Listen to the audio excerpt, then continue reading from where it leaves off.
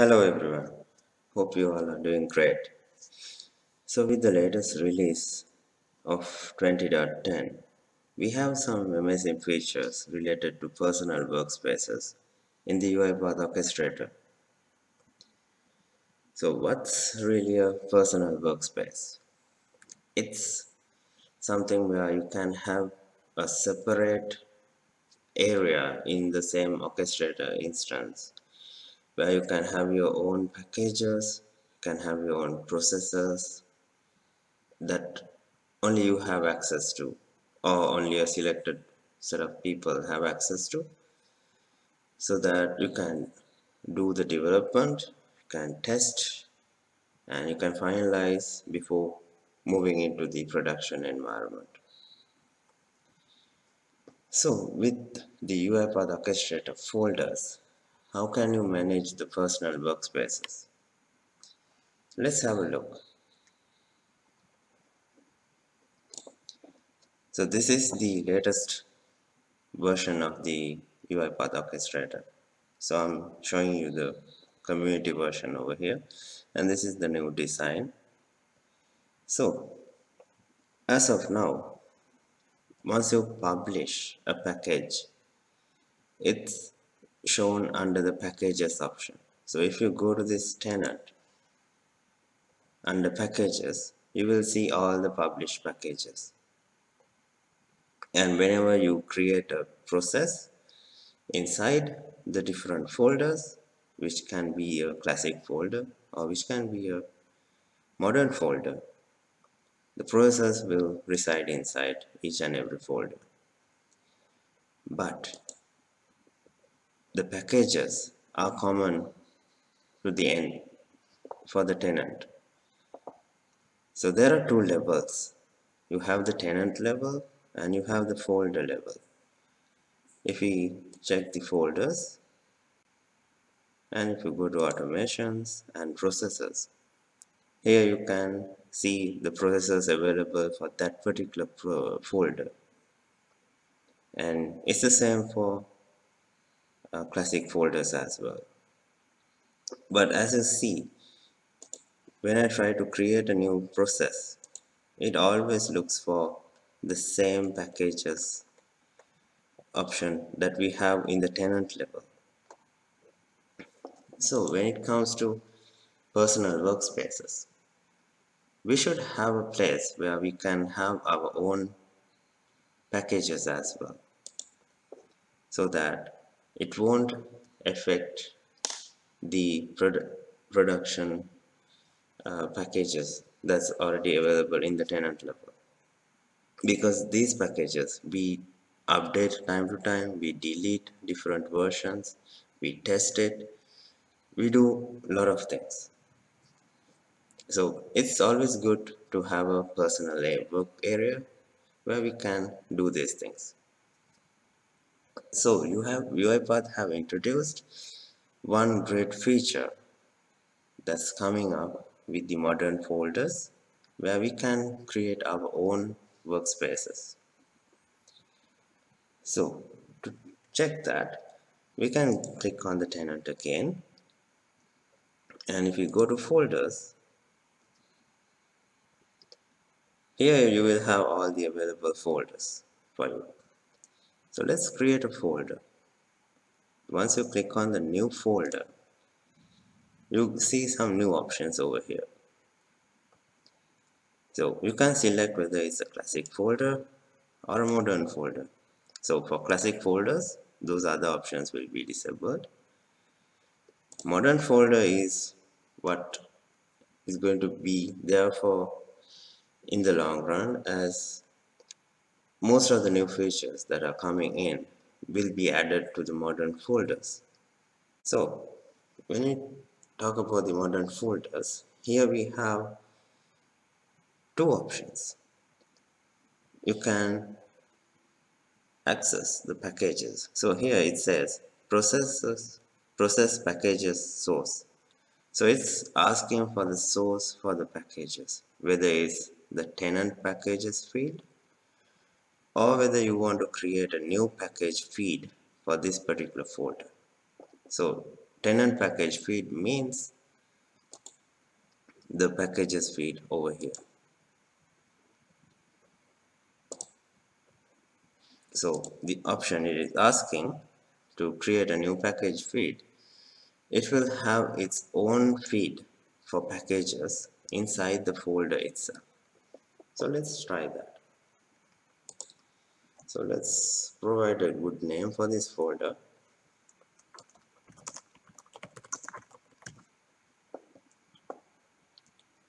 And I'll be creating a modern folder with this option.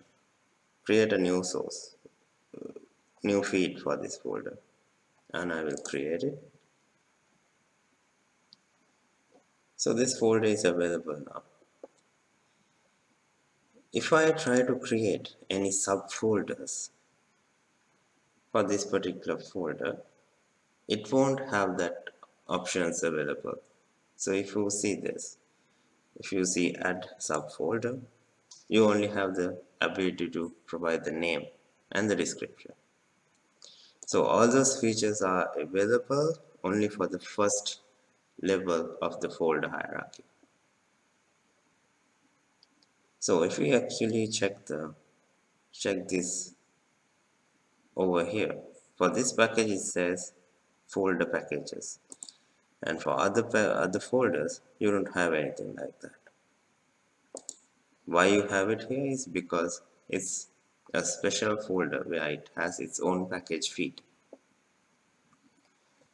So now let's have a look at the folder. On the left hand side panel go to that folder and here you will see all the available features. You can do a comparison as well. If you go to automations here you will see a difference. So in our new folder we have folder packages option whereas if we check the other folders you don't have that. So this is our personal workspace in this folder and you can add any number of users as well through folders. Go to the folder and here you can add any users who want to access that. So if you go to the folder again go to automations.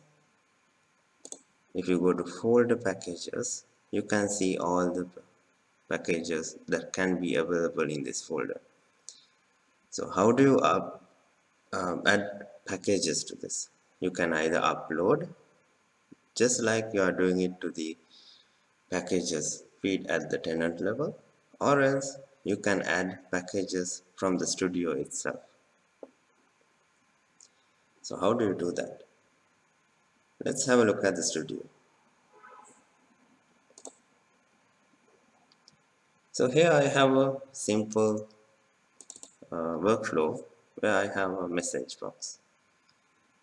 I'm not focusing about workflow designs or anything because our main idea is to talk about the folders and personal workspaces. So if I click on publish and go to publish options, I need to refresh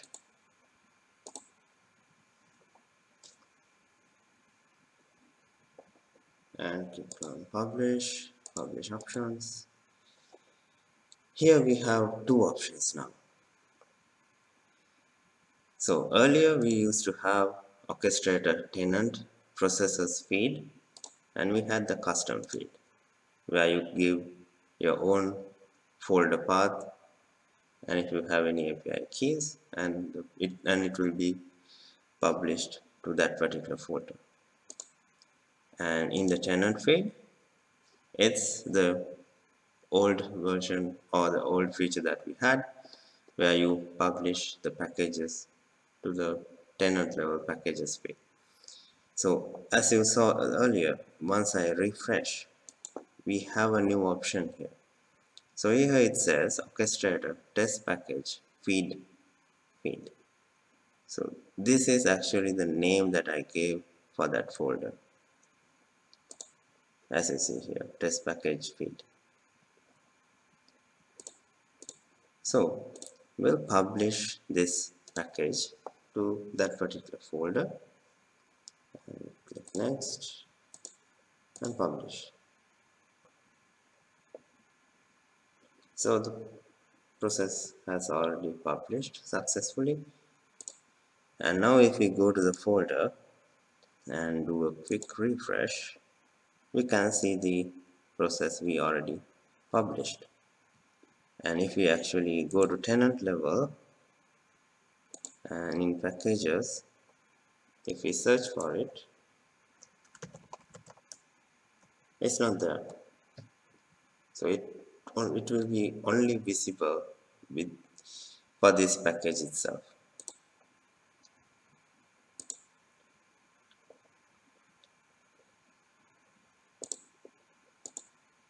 yeah it's over here.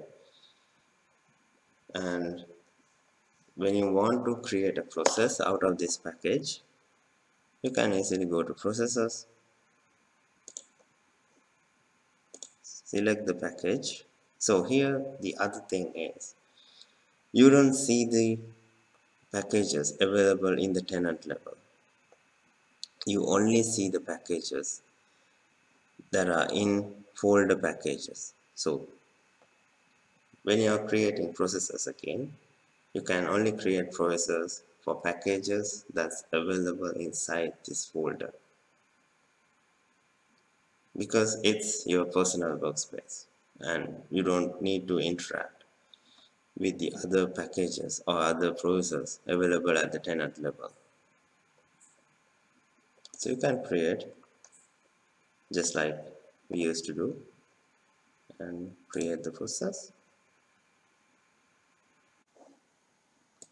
okay so what's remaining is to create a job and run the process. So before running we need to make sure of one thing. If you are having an unattended robot you need to add the uh, machine template to the folder. If you are having an attended robot that's fine. So go back to tenant go to folders and test package feed. So in my case I am having an unattended robot assigned to myself. So I need to uh, add the machine template. As you see here it's an unattended floating robot. So go to folders go to the package sorry a folder and under machine templates you can simply add the machine template that you have created earlier. And click on assign. Why you need to do this is because you need to have a runtime available to run the packages or the processes inside that folder. And now since we have configured that go back to the folder go to automations go to jobs and let's create the process job. I'll select my process and again as you see here we can only create jobs with the process available inside this package. It won't show any process or package available in the tenant level. And my job type is going to be unattended. So it can be any user and any machine so if you have a specific user you can simply click and select the user. And simply you can select the machine as well. Because in my case I have already one machine. So it can be set as any machine. So let's see how this works. So I'll start the process. And it's running so this is the message in my workflow. And it's successful. So if you check the assistant screen you also have that process under the folder name. So here you have the folder name and the processes available inside that.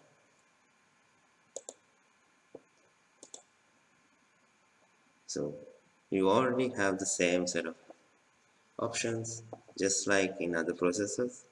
You can see the process details. So everything is there.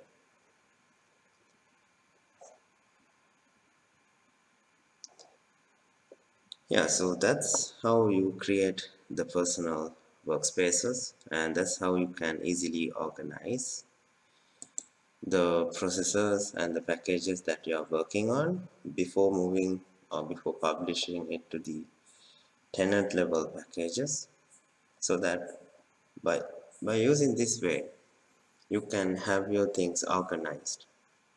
And if you are working as a team you can have all the team members assigned to this particular folder and have them working inside the folder with the packages and with the jobs and processes without affecting the production level or the tenant level uh, packages and processes.